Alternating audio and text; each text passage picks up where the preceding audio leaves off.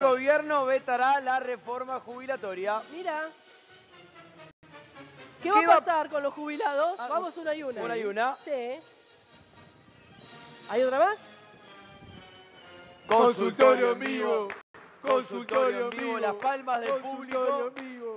Consultorio Y el siempre tan elegante Facundo Frasino. ¿Cómo le va, Hay una doctor? banda Feliz descontrolada. día del abogado, ¿eh? Que fue el 29 de agosto. ¿Cómo andan? ¿Todo tranquilo, ¿Todo bien vos? Bien, muy, muy tranquilo. ¿Se viene el veto entonces? Sí, ya está. El veto ya está. ¿Ya está oficializado o no? Sí, ya está. El veto Ah. ya, está, ya está firmado.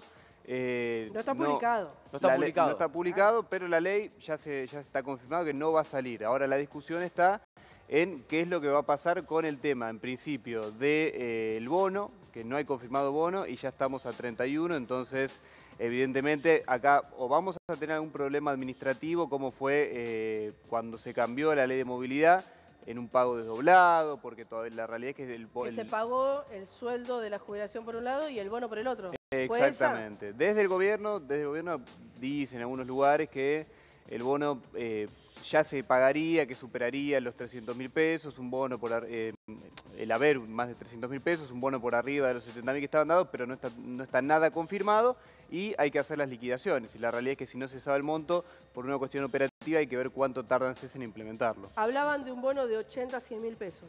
Sí, es lo que se habla. De ahí a, que se dé ¿hay es algún- otra cuestión. alguna certeza de algo o no? No, por ahora nada. Nada. por ahora nada y es lo que digo, ya eh, a partir de mañana tendrían que estar las liquidaciones por lo menos para lo que es los bancos disponibles y después a partir de la fecha de cobro para eh, los jubilados. Javi, si tenemos alguna consulta, el número de teléfono está en pantalla, 11 55 70 15 31, para que ustedes le puedan escribir al doctor Frasino. Siempre les contamos lo mismo. ¿Qué le Este contamos? número de teléfono, ellos después se lo llevan, lo tienen en su estudio y siguen contestando las consultas. Nosotros las contestamos en vivo, pero después ellos continúan comunicándose con las personas que le escriben. Vamos con alguna consultita, Javi. Sí, a ver si estamos recibiendo porque nos, este, bueno, nos dan acá algunos casos particulares. Eh, ahora seguramente vamos a empezar a recibir una catarata de consultas como 11 es habitual al 55 11. 70. Sí, teníamos unos problemitas, 15, con el, 31. unos problemitas con el WhatsApp recién. Eh, vamos ahí con 11 55 70 15 31 eh, para poder recibir los mensajes de ustedes y si no nos pueden escribir a nuestros Instagram y los vamos leyendo. Bueno, mientras, mientras eh, esperamos a que caigan mensajes, por Sí. otra parte, el tema del aumento, ya está confirmado un aumento del 4%. En lo que es el haber, que eso sí está confirmadísimo, 234 mil pesos va a ser para septiembre, hay que ver si dan el bono o no dan el bono. Pero en principio, eh, la gente lo que tiene que saber es de 234 para arriba, ¿no?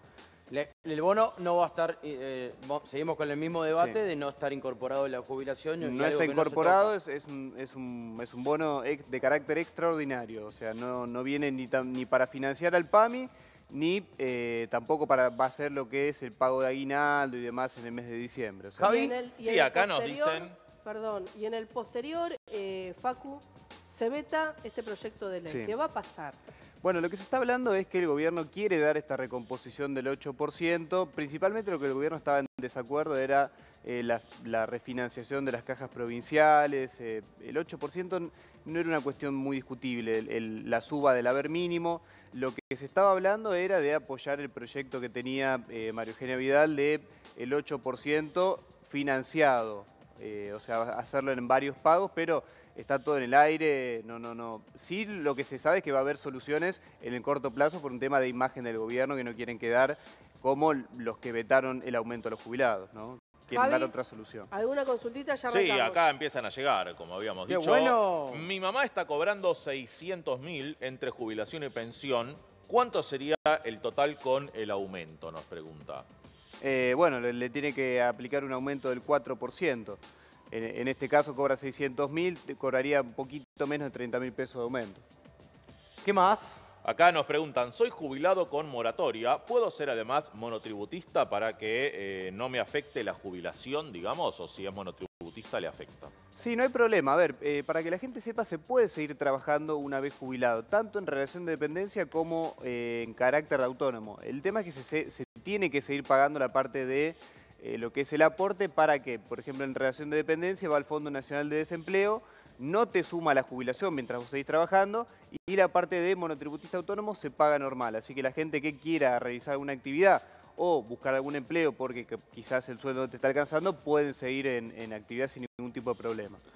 Eh, Facu, perdón, con respecto a eso. Sí, nombre, que- nombre y medio, por favor. No, no, no, es, es mía la consulta. Porque es verdad que a veces el miedo es, como te toman los últimos 10 años, si vos eh, te vas de un trabajo, te despiden o te retirás, eh, si te pones de autónomo, que después en la jubilación, en el promedio, te es como que te disminuya la jubilación. ¿no? Bueno, esa, ese es un gran mito que está, instalado, Qué que bien. no es así. Matemos mitos, me gusta. Claro, esto. que, che, yo aporto monotributo, tenía muy buenos sueldos en relación de dependencia, me, me liquida la jubilación. No, no es así porque lo que es relación de dependencia va por un lado y autónomos va por el otro, y eso se suma después.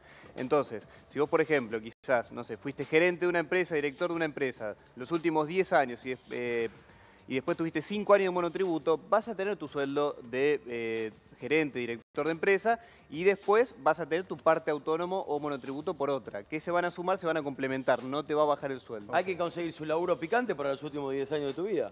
Que Olvídate. está pensado, en realidad la fórmula está pensada originalmente así. ¿Para qué? Porque vos tus últimos 120 de remuneraciones suelen ser las más altas en, en caso- si Dios- no, no es el caso común de Argentina, pero Claro, bueno, o sea, te iba a preguntar, pero eso en claro. Argentina no pasa. Lo, lo venía explicando y se estaba como desdibujando toda la no, situación. no, no, no, que, que es así. En realidad son, no, es- no son los últimos 10 años, son los últimos 120 remuneraciones. Mm. En relación de dependencia. Eso se hace un promedio y del promedio te, te pagan a vos la jubilación. Después ahí el problema hoy es que ese promedio se viene desdibujando porque está mal actualizado. Si vos tenías, lo que yo explico siempre, por ejemplo, un sueldo a 2018, hoy te lo traen muchísimo más bajo de lo que tendría que ser realmente. Entonces, como te lo calculan más bajo, tu jubilación es menor. Y ahí hay que reclamar. Qué bien, qué claro el doctor Frasino. Es, ¿Qué es más? difícil ser claro con este tema, es muy técnico, pero trato de ser lo más, lo más simple posible. ¿Qué más? Sí, acá nos preguntan, hola doctor Frasino, soy Miriam. Hola, Mi Miriam. consulta es, bueno, mi marido tiene 50 años y 19 de aportes y tiene retiro transitorio por ceguera. Le dieron la jubilación, pero la pregunta es, cuando pueda jubilarse con la edad jubilatoria, tiene 50 ahora, ¿va a pasar a PUAM o quedaría con la jubilación mínima? No, si tiene un retiro transitorio por invalidez es similar a lo que es una jubilación, una jubilación, no es una PUAM, es, es contributivo. Si tiene un retiro transitorio por invalidez, se cuentan los aportes e incluso hay casos en los que es un poquito mejor que las jubilaciones. Entonces habría que ver eh, si, si lo puede mantener. Obviamente, pues, si es por ceguera, se le va a transformar en lo que es un retiro definitivo por invalidez y va, va a seguir cobrando ese beneficio durante el fin de los tiempos, ¿no? ¿Qué más? consulta, vamos con otra. Tengo más de 30 años de aporte y 61 años. ¿Me podría jubilar? Soy de Mar del Plata, textil, nos dice ese hombre. Bueno, si tenés más de 30 años de aportes y tuviste, eh, si vos no tenés aportes desde el 30 de junio del 23, te podés, podés acceder a lo que es la jubilación anticipada, que es eh, para hombres desde los 60, mujeres desde los 55, pero tenés que tener más de 30 años de aporte o 30 años de aporte y eh, desempleo al 30 de junio del 23. No tenés que haber hecho aporte de monotributo, haber trabajado en relación de dependencia, ni ingresar ningún aporte. Si no lo hiciste, te podés jubilar. Javi. Sí, nos dicen, soy Julio. Hola Julio, ¿cómo estás? Tengo 58 y trabajo con horno de ladrillo. Pregunta si se puede jubilar. Dice que tiene 30 años de aporte, pero si es insalubre ese ¿Es otro trabajo régimen, no. ¿Cómo? Facu? Sí, eh, la gente que, tra- que trabaja en los hornos hay que ver en qué industria, en No qué en La industria, Plata. No lo son. Hay que ver en qué industria y si esa, y si ese No me aporte seguiste, le Ricardo. Sí, muy bien. No me seguiste. se, se ríe con delay. No, yo lo que pasa eh, es por la lluvia, es por la Me lluvia. dejaste caliente. Es por la es que lluvia. eh, el doctor Frasino eh, viene con toda su seriedad, siempre impecable. Sí, me- huele bárbaro. Igual está, está, está buenísimo esto de reírse, de reírse a la un mañana. poco.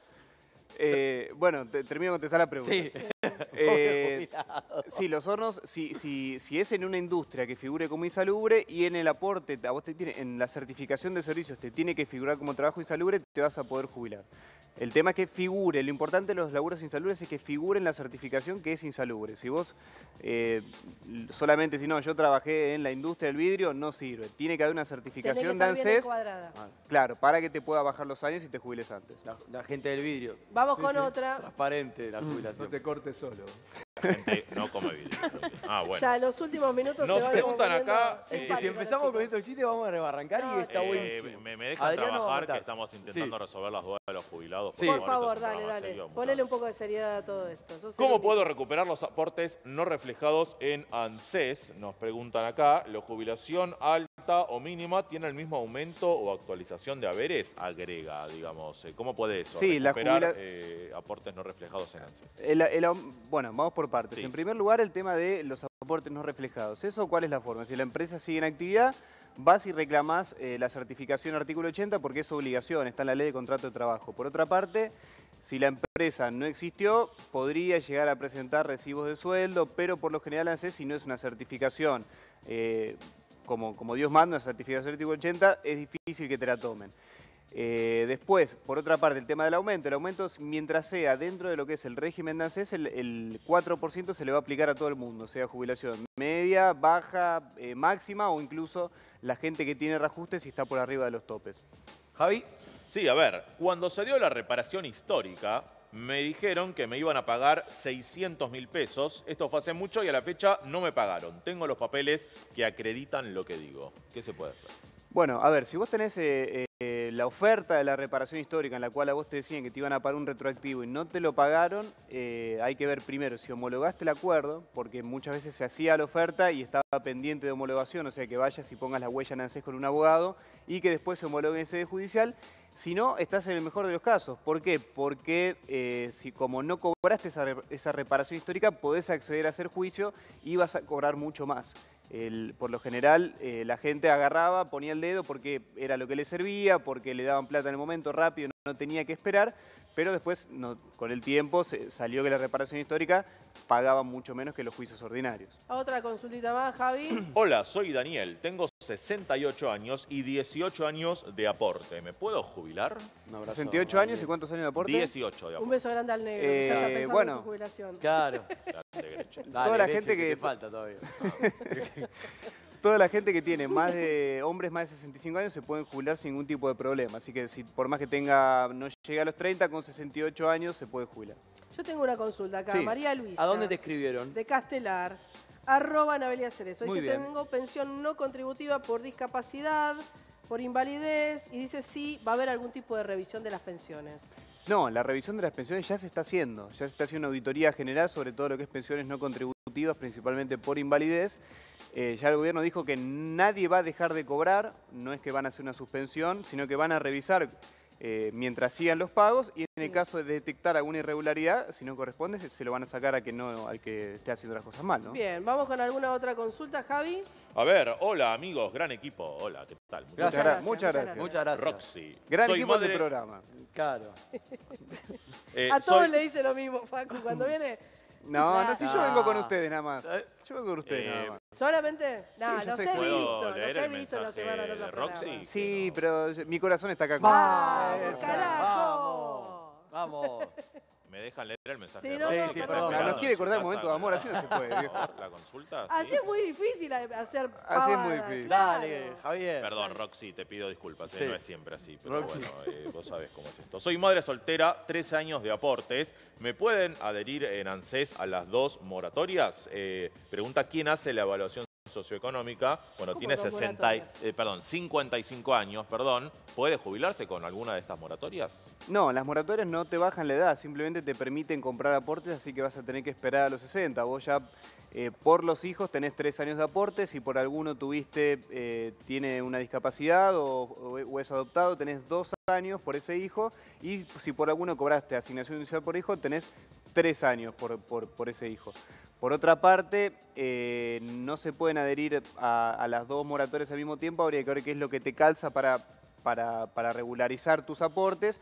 ¿Por qué? Porque como tenés 55 no vas a llegar porque la moratoria termina en marzo del 25, entonces hay que regularizar la situación antes y a los 60, cuando ya tengas todo listo, eh, poder jubilarte. Me da la sensación que están mezclando lo que es la jubilación anticipada, que tenés que sí o sí tener los 30 Sí. años de aporte, con lo que es la moratoria, ¿no? No, como- la, la gente, la gente suele entender que la moratoria eh, vos comprás y, y te sacás años de encima. En realidad, o sea, años de encima para jubilarte. En realidad lo que te sacás son años de aporte. Claro. La edad está, está regida por eh, si tuviste un trabajo insalubre, si eh, tenés un retiro transitorio por invalidez o eh, tenés alguna jubilación anticipada. Después, si no, tenés que acceder a los, o a los 60 mu- mujeres o a los 65 siendo hombre. Las moratorias no bajan la edad, las moratorias te permiten comprar aportes. Andrea me consulta lo siguiente. Sí. Lo dijiste, pero lo reiteramos. Si ya hay alguna certeza del bono y se va a cobrar el bono, digo, No hay ¿cuánto sería si no tenemos bono la jubilación mínima? 234. No puede ser. eh, que- 234. Estábamos por, a- estábamos por pasar las 300 lucas, ahora estamos 70 lucas casi por debajo. Pero bueno, hay que ver qué es lo que pasa con el bono. Yo no creo que... El, No eh, puede no haber bono. No, no, a ver, no, es Tu una- interpretación. mi interpretación Sí. personal, no, no, no es dato confirmado, yo no, yo no creo que dejen a los jubilados sin bono.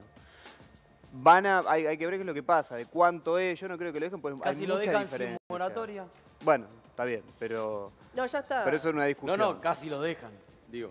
Eh, sí, no, se iba a cortar de manera Los van a dejar sin moratoria. van a- Si no la renuevan, los van a dejar sin moratoria a- 14 de marzo del 25. Claro, en, en el 20, no, el 14 de marzo del 14 de 2025. Año que viene. Exactamente, se termina. Pero bueno, igualmente, a ver, el tema del bono, eh, había o una intención de ampliarlo y pasamos a directamente a sacarlo. Yo no, no, No. no, no, no, no es... Tiene que haber algo en el medio de eso. Tiene que haber algo en el medio o esperemos que den un bono más grande, porque si no los jubilados van a quedar al desamparo total. Con 234 mil pesos es menor que la, canasta, la- que la canasta básica total. O sea, estamos hablando debajo de la línea de pobreza.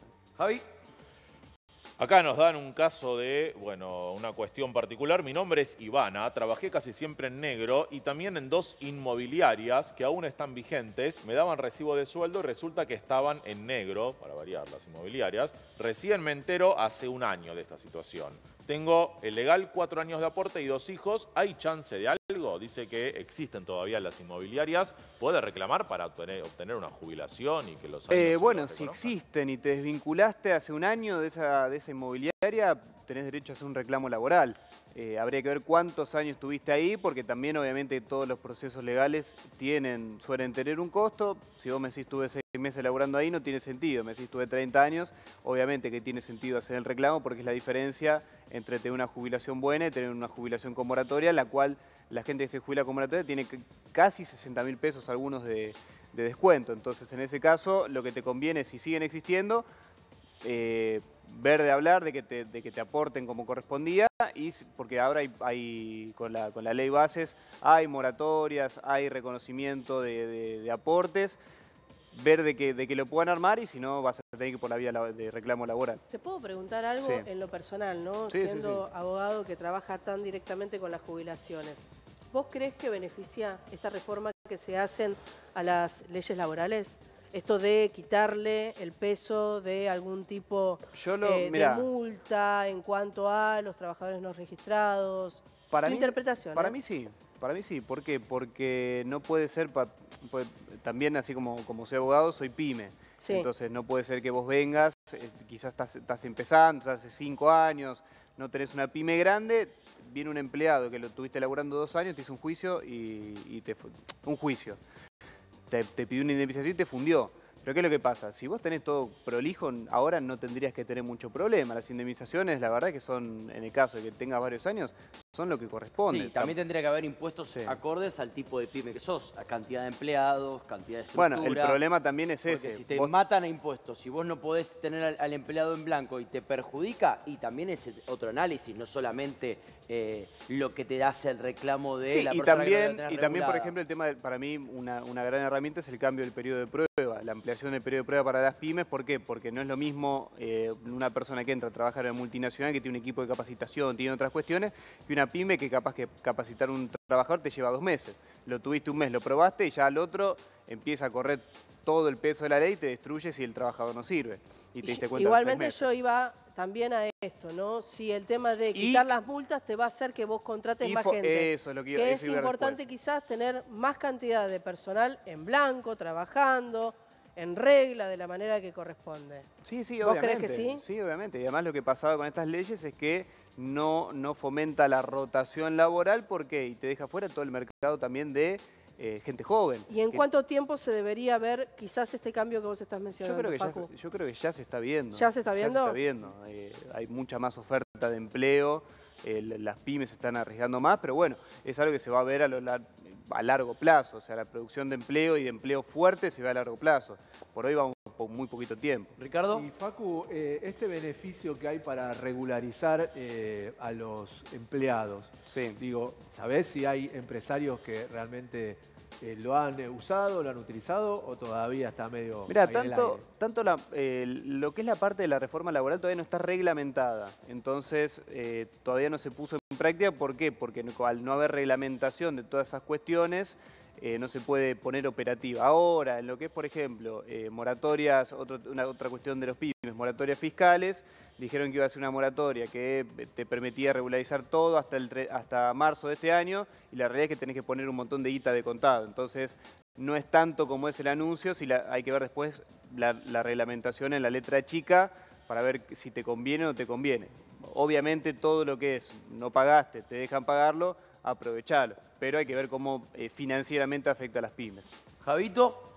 Buen día, tengo pensión por viudez, ahora cumplí los 60 años y tengo algunos años aportados. En ANSES me dijeron que lo tengo que pagar en una sola cuota de 4 millones de pesos. Es imposible pagar eso que me sugirieron.